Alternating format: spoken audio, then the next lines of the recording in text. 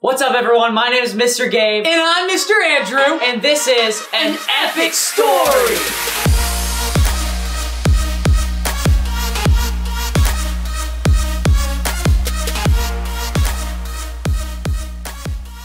Today's story comes from the New Testament, so we only need to rewind a little bit. Oh, I was born ready. They have a remote for everything nowadays. Here we go. What's up, everybody? My name's Mr. Gabe. And I'm Mr. Andrew. Wait, wait a minute. We just did An this. epic story! Gabe, come on. I sound ridiculous when I shout it out by myself. Andrew, we just did this like 30 seconds ago. we didn't rewind far enough. Okay, I got this. I got this. Slightly taller than me. Oh, and what is this? Underwater? A fish? A salmon? Oh no! Wow.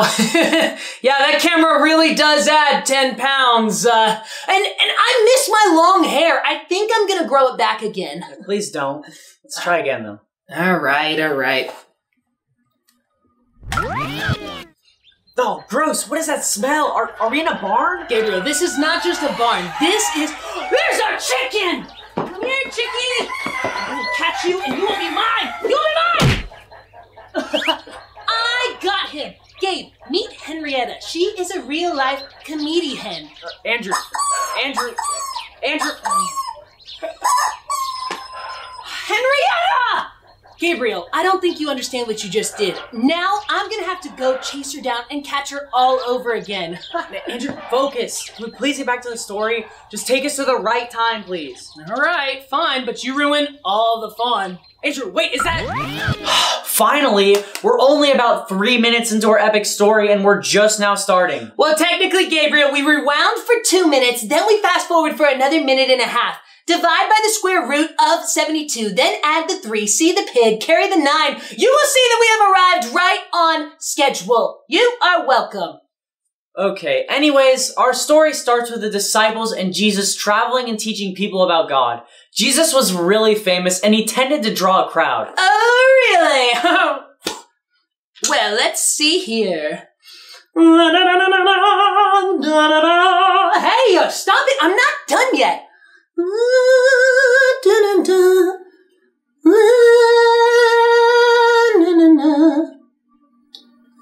And finished. Andrew, that is a perfect drawing of a family of carrots bathing in the sun. This is not carrots bathing in the sun. I drew a crowd of people, just like you said. Oh, yeah, now I see it. I'm gonna go put this on the fridge. So a crowd started to gather, so Jesus told the disciples to get a boat ready so they could cross to the other side of the lake. Ready to make sails! Hoist the anchor! Swallow the deck! Gabriel! You could really use a peg leg! Captain's coming! Nice, Gabe! That's the spirit! Here's the thing, we're off to find buried treasure. There could be gold, or Nerf guns, or swords, or a tank. Actually, a really big box. I don't think we could get it on this boat. We might have to leave it, or it could be candy. What if there's candy in there? Andrew, this isn't a pirate ship, this is a regular boat. Oh man. Sorry!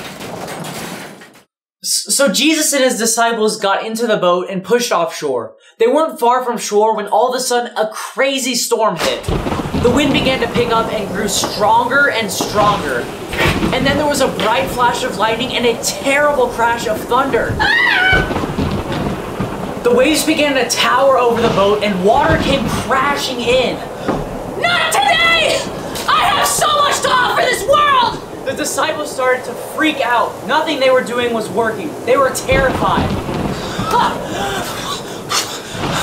Ah! There's too much water! While the disciples were freaking out, Jesus was asleep in the bottom of the boat. The Bible even says he had a pillow. Pillow fight! Ah! Again? Nope. Can you please go back to being scared so I can keep telling the story? All right. Ah! We're all gonna drown! I don't want to get eaten by a whale. I may be small, but I'm not a sardine. but you do smell like one. The disciples decided to wake Jesus up. Wake up! We're all gonna drown!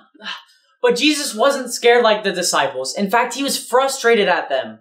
Oh man, I get that. I get pretty grumpy too when my mom actually wakes me up. I take my sleep very seriously. Gotta get a minimum of 12 hours. Beauty sleep, Gabe. Beauty sleep.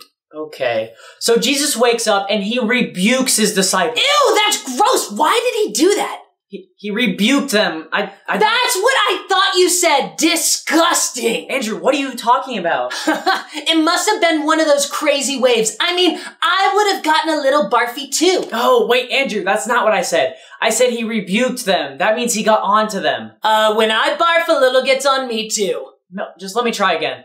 When Jesus woke up, he was frustrated with his disciples for being so scared. He asked them why they were acting like that and why they had no peace. Oh, why didn't you say that in the first place? You're right. What was I thinking? So Jesus turned away from the disciples to face the storm. He commanded, be silent. Boom Roasted! I couldn't resist. I'm so sorry, Gabe. Okay, here you go. I gotcha. Uh, I gotcha. gotcha? Mom! Um. Oh, I can speak. Oh, Oh! okay, so Jesus said to be silent and, uh, and to, uh, and to be a mime, and to be a mime. A dancer. Yeah, a mime again. A choir director. Sweet. Oh, oh, the guy with the orange traffic cones who reels in the planes. I got, oh, be still. Jesus told the waves to be still. Oh, Gabe. Gabriel Sebastian Mills, hold this. You're terrible at telling stories. The disciples were amazed. They asked, Who is this man that even the wind and the waves obey him? Jesus had peace in the storm because he knew God had a good plan for him. And the disciples should have had peace because Jesus was with them. You know, we can have peace too, no matter what situation we're actually facing, because God promises to never leave or forsake us. Wow, I did a great job. And that's an epic story! Yeah, it still sounds really weird by myself. wait, I can talk. This is amazing. I can talk. Andrew, you got the story right, although you had a couple issues there in the beginning. You know, we really can't have peace no matter what situation. Peace and quiet. I mean, I love the guy, but when he starts talking, he just keeps going and going and going and going and going. You don't know what he's talking about because he goes on these random side tangents. Oh, that reminds me. Have I ever told you the time I went to Canada? Their bacon, let me tell you, it's not real bacon. What a lie. It's just basically ham, whatever animal that comes from. And let me tell you, it was the most disappointing birthday cake I ever had. Cue bumper! What's up, everyone? My name is Mr. Gabe, And I'm Mr. Andrew. and this is An epic story! Not again!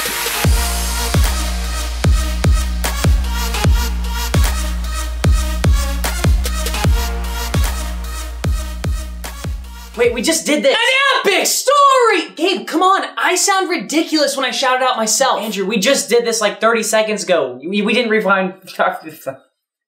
We didn't. It's crazy. Let me just volume up.